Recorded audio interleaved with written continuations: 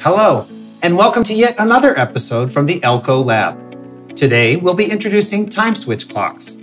Here is an overview of the time switch clocks.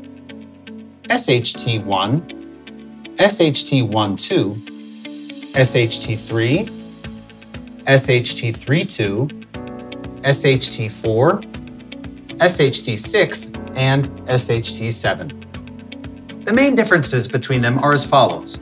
The programming period, day, week, month, year, and astronomical. A DCF signal receiver, programming via NFC by smartphone app.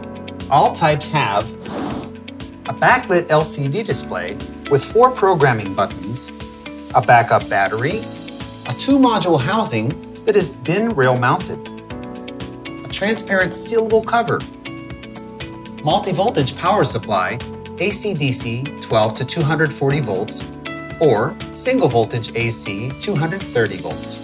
SHT1 and SHT12 are basic types with a weekly program. SHT1 has one channel.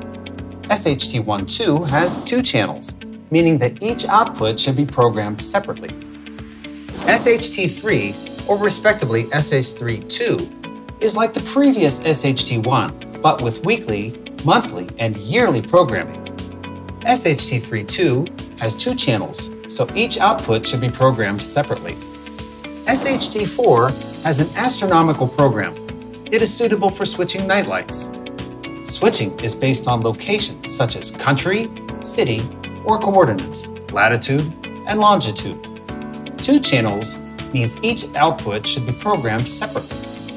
SHT6 is like SHT3 with weekly, monthly, and yearly programming, but actual time is synchronized by the DCF signal via an external receiver, DCFR1. It is suitable for exact time, public clocks, school bells, church bells, etc. It has one channel. SHT7 is like SHT32 with weekly, monthly, and yearly programming, but programmable through the application from your smartphone. Communication occurs wirelessly via NFC. Two channels once again mean each output should be programmed separately. Thank you for your attention, and we look forward to seeing you in the next episode.